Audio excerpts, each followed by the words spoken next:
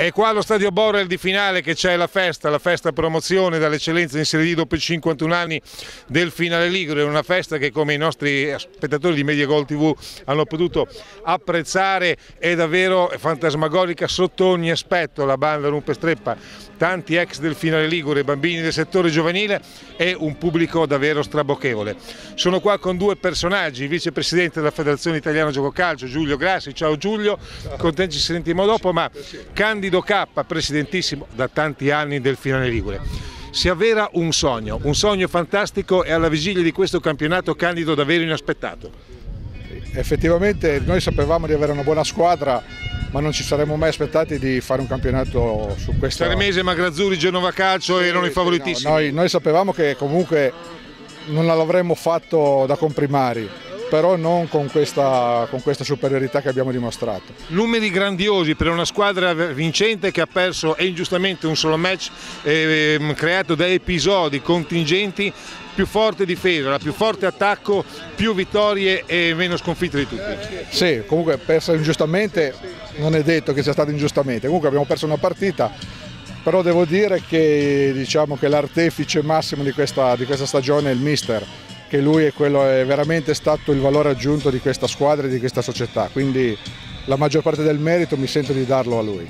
L'impegno della Serie D è un impegno difficilissimo da far tremare i polsi, lo affronta al finale come lo affronta Candido? Così dicono, eh, non c'è come provarlo per saperlo. Eh, mi farete un'intervista l'anno prossimo a questo periodo e vi dirò com'è andata. Una Serie D da protagonista, dai!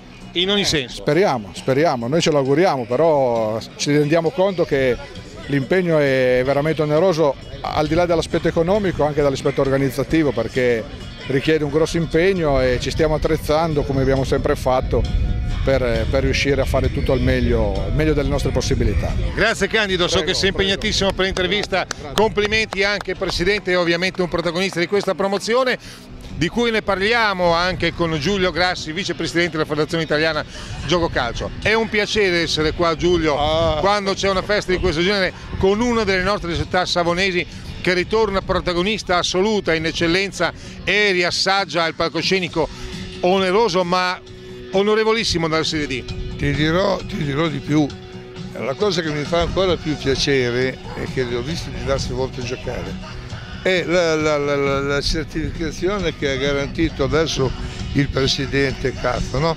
quando dice che il valore aggiunto è Butu, no?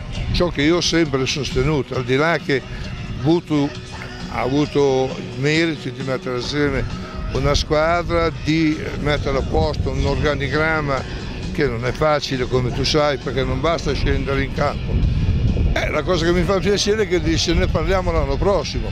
Quindi è la certificazione. non formale. esatto. Una Serie D che accoglie purtroppo il Savona neo retrocesso matematicamente, ormai potrebbe accogliere la Serie Mese, addirittura un altro anno potrebbe essere una Serie D con 9-10 squadre liguri e tanti di Savona e di Imperia. Io... Un fatto mai avvenuto nella storia Giulio. È vero, mai avvenuto, però io sai, credo sempre in Gesù bambino. Può darsi che il Savona venga ripescato. Eh, esatto. Se ha qualche santo in paradiso. Esatto, bravo. Io, io, me lo auguro, me lo auguro perché insomma avere una provincia, poi eh, se, no, se no sarebbe qualificato comunque, eh, perché guarda che una quarta sede come la nostra che andiamo a fare...